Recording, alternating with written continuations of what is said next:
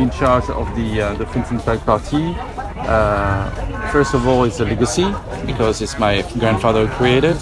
After that, he led it to my father, and now I cannot leave the party like this. You know, so I took over the party.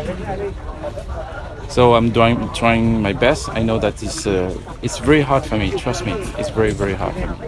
You know, it's it's very difficult because um, my I never done politics before, and my father I always been away from the politics for a long time, and I don't need to do politics to be honest with you. And um, but the thing is, um, I took over the party. Um, I'm a hard worker, so I'm just trying to find the way. I mean, the best way to make a big success, success of it. You know, I mean, a lot of people are saying that, uh, yeah, uh, Your Highness. Uh, I mean, uh, if you lose, and uh, what's gonna happen? I say, I'm here to work and not to lose.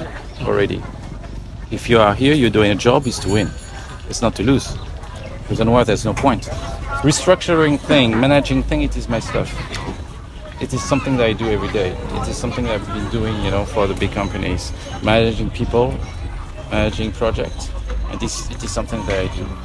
So I know that politics is completely different because politics is, is not somebody that you pay and make the work, the job done.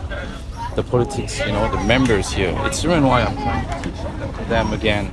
You join a party because you like the party and you like the head of the party. You're not joining the party because somebody forced you or buy you. Until when you start to buy people, this is when you go wrong. Everything goes wrong. I have to balance.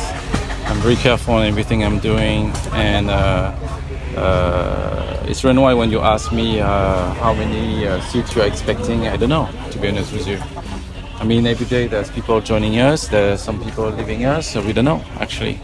So I think the uh, uh, I think the the election will be a surprise for everyone. But I think the uh, I have a good team now. Um, not enough, but a good team already, and we have a lot of support uh, from uh, from the youth, especially, and. Um, We'll see. Uh, I know the problems. I reform most of it, but I didn't reform 100% of the system yet. But uh, because I got short term, short term, you know, it was short. Everything we were been running all the way. It's not easy. I mean, I told you I'm new. Um, I have to take care of a party which is even below zero. It's very hard. I don't know the people.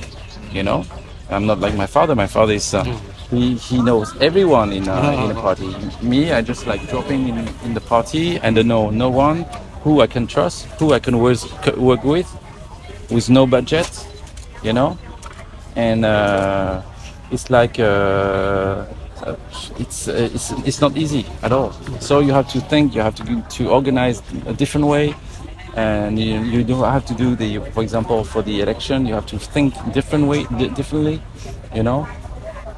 It's why, for example, I, um, when you go, you follow me in the province. I'm never on the on the stage. I prefer to be with the people.